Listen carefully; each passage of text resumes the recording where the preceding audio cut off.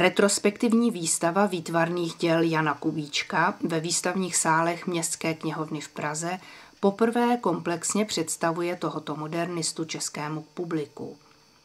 Zatímco v zahraničí, zejména v Německu, je jeho tvorba velmi dobře zastoupena v uměleckých galeriích i u soukromých sběratelů, ve své rodné zemi takové popularity dosud nedosáhl. Vděčí za to pravděpodobně tomu, že v zahraničí je moderna a přesněji konstruktivně konkrétní umění Jana Kubíčka a dalších autorů, jako například Karla Malicha či Zdeňka Síkory, ceněno daleko více než v České kotlině. Letošní retrospektivní výstava vznikla za pomoci německého novináře Hanze Petra Rieseho, dlouholetého přítele Jana Kubíčka a jeho rodiny, který je také hlavním kurátorem výstavy. V 60. a 70. letech se Rýze zasloužil o propagaci řady českých výtvarníků v Německu, zejména když tehdejší režim neumožňoval jejich tvůrčí vývoj v rodné zemi.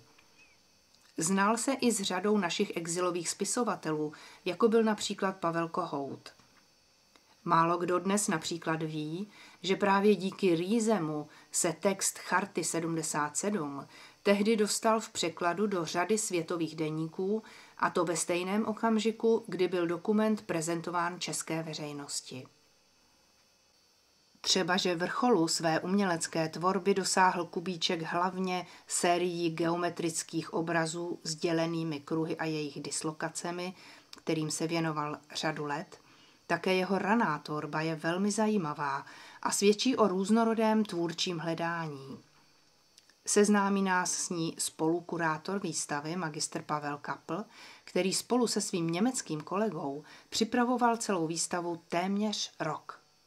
Ten Kubíček je jeden z nejvýznamnějších eh, umělců, kteří eh, tvořili v eh, tom výtvarném stylu, který můžeme označit jako nová citlivost nebo systematicko-konstruktivní umění.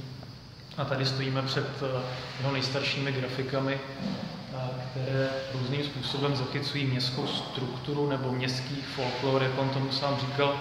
Jan Kubíček byl umělec, který se vyjadřoval mnoha různými médii, svý, eh, ty témata, která nacházel ve městě, zpracovával nejenom grafice, ale fotografoval hodně, později i maloval.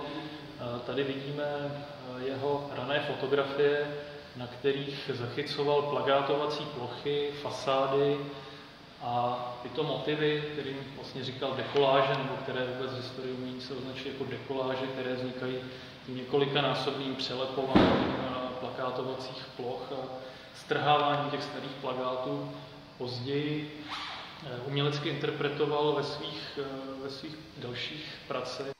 Velmi zajímavé jsou také Kubíčkovy experimenty s písmeny a čísly, která se nejprve objevují v jeho kolážích a asamblážích, ale přibližně od roku 1960 se na plátně osamostatňují. Velké oblibě se těšilo písmeno L, které je tvořeno dvěma obdélníky a dobře korespondovalo s kubíčkovou zálibou v geometrickém uspořádání. Podobné výtvarné tendence tzv. konstruktivně konkrétních malířů zaznamenáváme v té době i na západě, zejména v Německu, ve Francii a Švýcarsku, což řadí Jana Kubíčka na špici evropské výtvarné tvorby 70. let.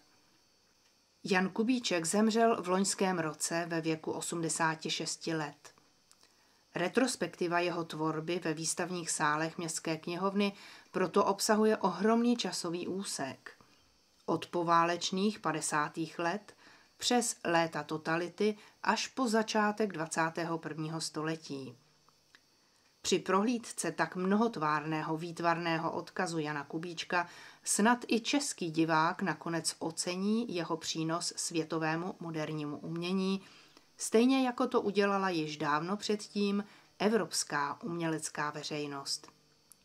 Příležitost k bližšímu seznámení s Janem Kubíčkem máte až do 10. srpna, kdy výstava v Městské knihovně končí.